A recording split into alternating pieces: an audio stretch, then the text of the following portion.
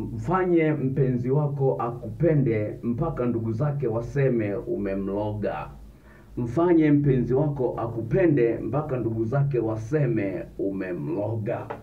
Msikilizaji, nimekuletea mada hii baada ya dada mmoja kuniletea ushuhuda ambao unaonyesha jinsi gani kipindi hiki kinaweza kuwasaidia watu wengi sana ambao wana akili timamu, wanaweza kufanyia kazi mambo ambao yanayaona kwamba yanahitaji kufanyiwa kazi.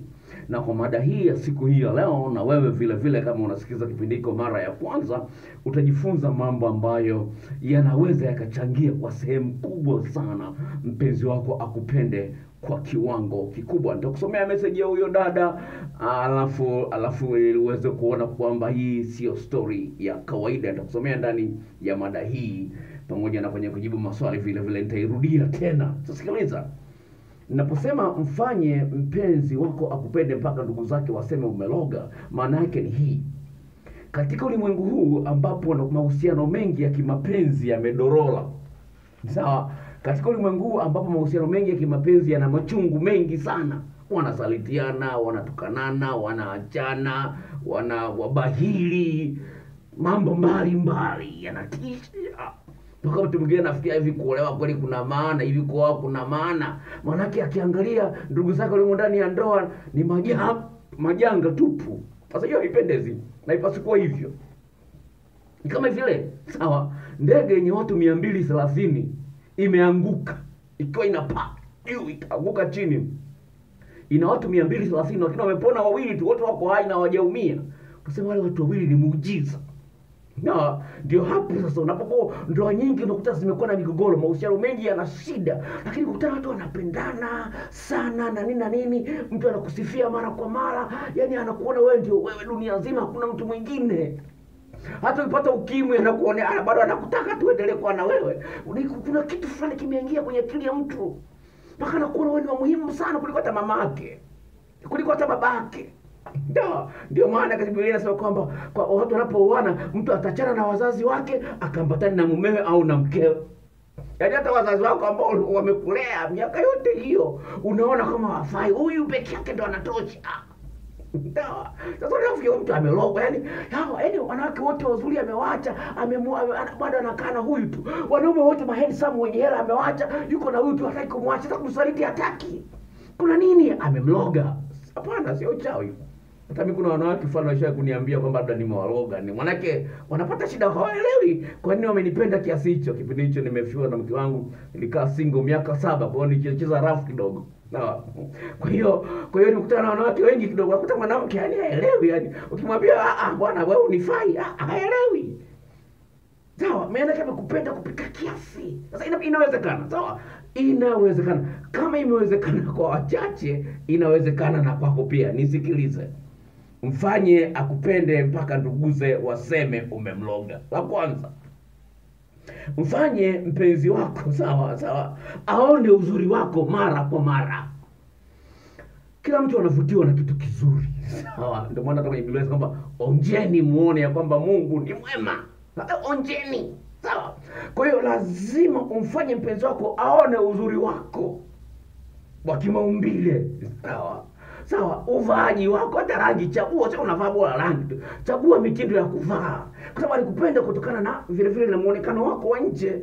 Sio amekupenda tu kwa sababu ni mwanamke, sawa. Sio amekupenda tu kwa sababu ni mwanaume. Ah, ah, muonekano wako na wenyewe una sehemu katika kujenga mahusiano kama vile gari sawa, rangi yake ipa huko, unakuta na wewe unaweka rangi mpya, unapaka rangi mpya ili ipendeze.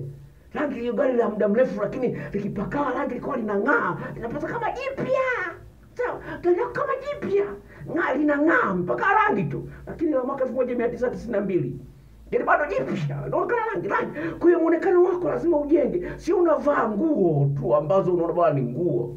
Lazima uvae nguo ambazo zinamvuta katika ulimwengu huu sawa, ambapo unaona TV watu wamevaa vizuri, kwenye mitaani, barabarani, unapoenda sokoni, madukani, kazini, watu wamevaa vizuri, akili yako inavutwa na mtu alivyovaa vizuri. No, kwa hiyo vaa vizuri, piga mswaki, kuwa msafi, sawa. Hayo ni mambo ni ya msingi sana, sawa sawa. Na kaka mmoja m- mke wake ofisini kwangu, mke wangu ananinyima unyumba. Nikamwambia mwanaume, kaa nje. Mwanamke niongee na wewe. Namuuliza maswali. Eh, huyu mume wako kwenye tendo la ndoa anakufikisha kileleni? Asema sawa amechukua kitabu chako kile cha ufundi katika kupenda na jinsi ya kumnogesha mwanamke kitandani. Kila kifanya naye mapenzi nafika kileleni. Je vipi shida yake ni nini sasa? Ana maumbile madogo au nini au nini? Shida yake ni nini? Akasema shida yake bwana ni uchafu. Huyu ni mwalimu wa chuo. Sawa. Ukimwambia masuala ya uchafu usafi uchafu eti utanifundisha mimi usafi kwenye umri huu? Eh? utanifundisha mimi usafi kwenye umri huu? Watu hawataki kuambiwa ukweli. Kwa hiyo jiangalie muonekano wako. Jinsi gani utunza piga mswaki vizuri nukia vizuri vaa vizuri pendeza hilo la kwanza. Sawa. Sawa la kwanza. Hilo kwa hiyo aone uzuri wako. Sio unavaa nguo tu kama gunia. Mara nyingine vaa nguo ambazo zinabana bana kidogo kama mwanamke. Sawa eh? huku nyumbani umevaa tu kama vile unaenda msikitini. Hamna. Vaa vizuri bwana. Hata ukiwa nyumbani vaa kichokozi kidogo. Ili kitu kiingie kwenye akili ya mke wako au ya mume wako kama nina mume mzuri. Sawa. Na mume handsome na mke beauty watu wengine waseme mbaya ameoa mbaya lakini huu ni wa kwako. Sawa. Sio nakodolea kodolea macho tu wanaume wengine wanawake wengine kwa sababu wana, wa, yani wanapendeza. Na wa kwako naye apendeze. Waswahili wakasemaje? Ukikiona kinaelea kimeundwa. Haleluya. Ukiona kime, kime, kime, kinaelea kimeundwa. Kwa jambo la msingi tuweze kujenga hilo la kwanza uzuri wako. Sawa. Hilo jambo la msingi sana. La pili ukarimu jinsi gani unajitoa kwa ajili ya mwenzio? Usiwe bahili sio kila kitu usubiri kuambiwa uombwe. Sawa? Sio kitu usubiri kila kitu usubiri kuomba. No jitahidi kuwa mkarimu kwa mwenzio. Fanya vitu bila kusubiri kuombwa. Wanasema hayo ni mapenzi toroli. Toroli haliwezi likasogea mpaka limesukumwa. Kwa nini wewe uko hivyo huwezi ukafanya kitu mpaka uambiwe. Fanya mambo mazuri mpe surprise mwenzio. Sawa? Unajua mpenzi wako anapenda keki sawa? Umeona keki nzuri nunua sio mpaka bwana niletee keki. Hmm. unajua mpenzi wako anapenda kulamba sikio lilambe nasubiri nini mpaka kuambia lilambe sikio?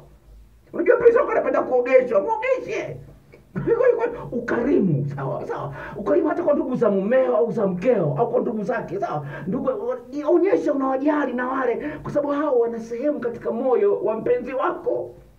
Hilo jambo la msingi sana sawa sawa. Sasa ngoja kusomee meseji hiyo ya huyo dada ambaye amesababisha mada hii sawa. Ngoja nikusomee meseji hiyo. Huyo dada huyo nimtumia video za jinsi ya kumnogesha mwanaume kitandani ngoja nikusomee meseji meseji zake hapa uweze kuelewa sawa sawa. Ngoja nifungue simu yangu hapa. Nasema hivi za asubuhi baba. Sawa sawa. Sitajuta kukufahamu. Yaani ananiambia mimi ndo naita baba. Sawa nitarudia tena. Anasema za asubuhi baba sitajuta kukufahamu. Na sitawacha kutoa shukrani zangu kwako kwa mafundisho yako mazuri. Asante na mungu akubariki. Pia sijajuta kulipia shilingi elfu kumi kwa kujifunza majarida yale ya jinsi ya kumwandaa mwanaume na kumnogesha mwanaume mpaka awe mpole kama bata. Sawa? Unakumbuka ulinitumia hayo majarida na video? Walahi mimi ni Muislamu, hayo ni machache niliyoanza nayo. Huwezi amini mume wangu alivyonisifia. Na anavyonisifia. Alhamdulillahi kwa kuitengeneza ndoa yangu. Sawa? Yani sijafanya makubwa sana. Yani nimebugia tu zile gololi zake nikauchezea lile dudu lake kama video inavyoonyesha. Then nikaufinya nikafinya lile dudu lake kwa uh, kwa kutumia sehemu zangu za siri alipokuwa ananiingilia. Dokta we yaani ilikuwa ni kali. Yaani ilikuwa ni kali kupita kiasi huwezi amini. Aliweweseka akashtuka hadi nikaogopa the way nilivyokuwa namnyonya na kumlambalamba maeneo mbalimbali nikipeleka mdomo anashtuka kwa raha. Nikaongezea kile kitu kidogo mdomoni nikaweka pipi ile ya tropic yani ala apewe sifa. Yaani ni mwislamu akasema ala apewe sifa zake. Asante sana nitazidi kukupa mrejesho maana ninapendwa kupita kiasi dokta. Mume wangu mpaka kwao wanasemaga nimemloga maana hawezi kupiga stori bila kunisifia mimi mkewe. Haleluya. Unaweza kuona jinsi gani yani kitu kidogo tu kimebadilisha anajitoa kwa mume wake. Sawa? Anamhangaikia mume wake. Sawa? Si kwamba aliambiwa kwamba nilambe hapa. Ah, amejiongeza katafuta shule ikamsaidia. Sawa? Mwanaume anapata tu mrejesho mtamu. Wewe mbona hujawahi kunifanyia hivi siku zote? Imekuwaje? Sawa? Kwa hiyo kuwa mkarimu katika maeneo mbalimbali. Sawa? Sawa? Hilo jambo la msingi sana. La, la, lingine la msingi ambalo ni uchangamfu wako. Jinsi gani unaonyesha uchangamfu kwa mumeo au kwa mkeo unapokuwa unaongea naye onyesha kwamba ni mtu wa thamani. Akisema kitu jibu vizuri. Sio unajibu kama unamjibu mtoto wa mitaani. Sawa? Ukijaribisha kumjali mtu. Nakumbuka kuna mhubiri mmoja mzuri kweli alikuwa anahubiri kanisani kwetu. Alikuwa ametokea nigeria ibada ya kiingereza. Ni mhubiri mzuri kweli. Lakini nakuta siku moja anavyoongea yani alivyokuwa anawakaripia watoto wa mitaani. Nikasema ndio huyu anahubiri vizuri kanisani. Hao watoto wa mitaani wameumbwa kwa mfano wa mungu lakini amewakaripia kweli yani ya- ndio inachozungumza ni kwamba kwamba yesu anavyoongea ulimi wako unaweza kupunza biblia inazungumza kwenye kitabu cha mithali kumi na nane mstari wa ishirini na ishirini na moja inasema kwamba mdomo una nguvu ya kuua au kuponya. Sawa mdomo una nguvu ya kuponya na wale wanaopenda kuutumia vizuri mdomo asema watakula matunda yao na kufurahi kuna jambo la msingi sana. Ufahamu kwamba una wajibu wa kuonyesha uchangamfu. Ndiyo kuna magumu mengi sana sawa? Kuna magumu mengi katika mahusiano. Lakini kipengele kingine ambacho kinafuatia ni unyenyekevu. Onyesha unyenyekevu unapokuwa umekosea. Uwe mwepesi wa kukubali makosa yako. Ukubali kuomba makosa. Na lingine jambo la msingi ambalo napenda vizungumza hapo hapo kwenye swala la unyenyekevu lazima uwe muwazi tengeneza mazingira ya uwazi na ukweli. Uwe, uwe na uhuru wa kumuuliza mwenzio maswali na yeye awe na uhuru wa kukuuliza wewe. Hayo mazingira yatengeneza mazingira ya unyenyekevu. Yani unamweleza mtu ukweli wake anakubali na kufanya mabadiliko mazuri. Hakuna mtu ambaye hakosei. Hakuna mtu ambaye hana madhaifu. Kila mmoja ana madhaifu. No, kwa hiyo jitahidi kuonyesha unyenyekevu. Unakubali makosa unaposahihishwa, unapoambiwa ukweli kubaliana nao Sawa. Moja unyenyekevu ambao ni mgumu kwa watu wengi, hutaki mpenzi wako ashike simu yake. Sawa. Hutaki mpenzi wako apekue simu yako. Nakwambia hivi, huo sio unyenyekevu. Unyenyekevu kuwa mwazi kwamba bwana, mimi sina la kuficha. No, nakupenda wewe, sina mpango wa kusaliti. Chochote kilicho changu ni cha kwako. Ndio maana ya ndoa. Kilicho changu ni cha kwako. Sasa simu hii kama unaisema kwamba hii ni private ni ya kwangu, ulinioa wa nini? Sawa, hiyo ulinioa nini? Cha kwangu ni cha kwako, cha kwangu changu. Ndio maana Biblia inasema hivi, hawa watu wawili watakuwa mwili mmoja. Sasa utakinishika simu yako, unaikosesha raha kwa sababu kama unanipenda niache nisikie raha kuona kwamba mume wangu kumbe hanisaliti, nipekue simu yako. Sasa kwa nini ulinyima sika simu yako? Msidanganyane bwana, sema msifuate mkumbo, oh, simu zinaharibu ndoa. Sio kweli. Sawa. Kaka mmoja akanipigia simu asubuhi, saa moja za asubuhi ananipigia simu. Dokta, nimekusikia sana Radio Free Africa. Hivi kweli ni haki mkeo ashike simu yako? Unaona? Yaani akifikiria kwamba mimi nitamtetea. Mm. Sawa. Nikamwambia ushauri unalipia shilingi elfu tano kuongea na mimi. Akarusha M-Pesa. Imeingia M-Pesa elfu tano. Pa. Kapiga. anaambia dokta, hebu niambie inakuwaje? Nikamwambia kwani imekuwaje?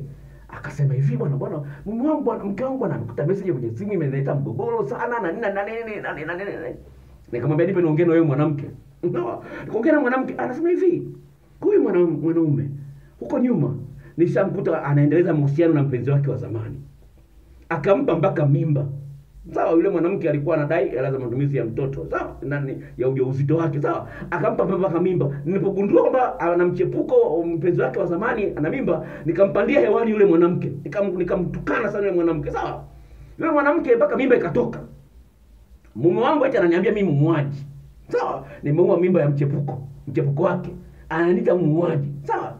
La pili ni kwamba huyu uhusiano una miaka mitatu, kila siku anasema tutafunga ndoa mwaka fulani, kila mwaka anafunga mwaka ndoa fulani. Mimi nakataa wachumba, wanakuja nyumbani, nakataa wachumba kwa ajili yake. Sasa lazima mimi nihakikishe hivi kwani huyu mtu anataka kunioa mimi au nitumie tu, lazima nipe simu yake.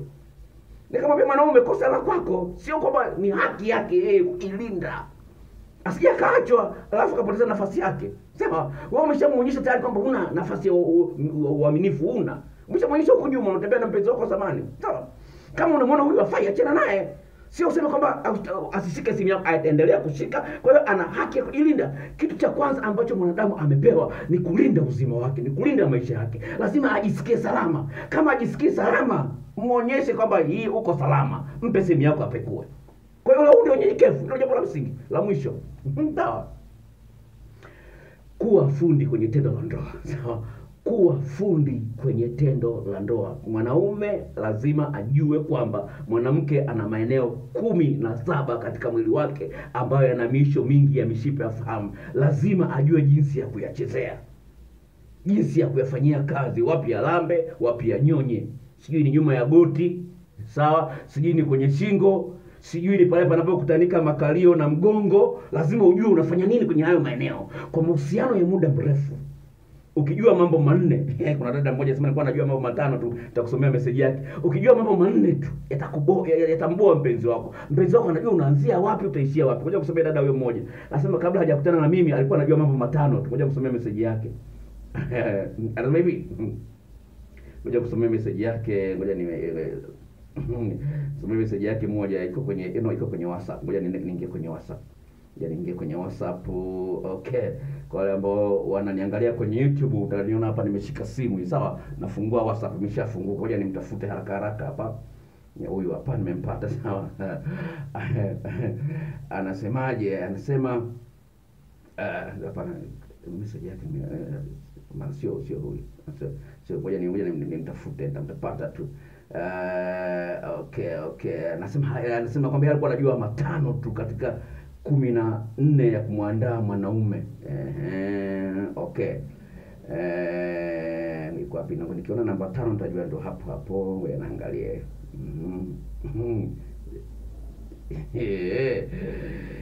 Kali. Okay, nianze na hii hapa itakusaidia kuelewa sawa. Dokta, nimetumia staili tatu tofauti tofauti za ndani ya mafunzo yako. Nikaanza na ile ya mnogesho wa chumbani. Dokta, nijitahidi kadri niwezavyo. Yaani mume wangu alipiga kelele za kuweweseka kwa utamu kabla ya chochote kile.